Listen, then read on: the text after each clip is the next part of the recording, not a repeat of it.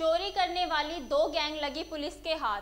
बताया कि अभी तक 26 चोरी की वारदातें कर चुके हैं।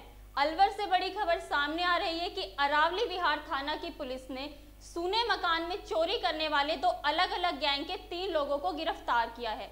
जब पुलिस ने आरोपियों से पूछताछ की तो आरोपियों ने बताया कि वो अभी तक 26 चो, 26 चोरी की वारदातों को अंजाम दे चुके हैं। पुलिस ने इनके कब्जे से एक रॉयल एनफील्ड मोटरसाइकिल और इनके साथ ही तीन बाइक और अन्य सोने चांदी के जो जेवर हैं, वो जब्त किए।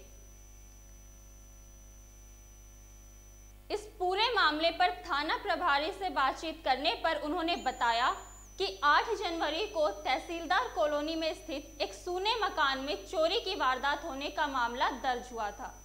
उस पर अलवर शहर की पुलिस ने सदर के ग्रामीण क्षेत्र में हुई वारदात के संदर्भ में पुलिस टीम ने जो भी जानकारी एकत्रित की थी, उस जानकारी को हासिल किया और एक टीम बनाई। जानकारी हासिल कर चोरों को, चोरी की वारदात को अंजाम देने वालों का उन्होंने डाटा तैयार किया और कुछ बदमाशों को चिन्हित किया गया और उन पर सख्त निगरानी रखी गई। इसके साथ ही पुलिसकर्मियों ने आरोपियों को गिरफ़्तार करने के लिए साइक्लोन सेल की तकनीकी सहायता ली।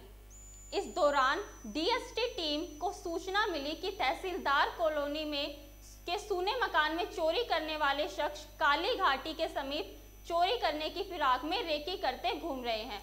पुलिस टीम ने आरोपी अब्बी और इर्शाद दोनों को मोटरसाइकिल के साथ गिरफ़्तार किया और इसके बाद पुलिस टीम ने कार्यवाही करते हुए चोर कादर खां को भी गिरफ़्तार कर लिया।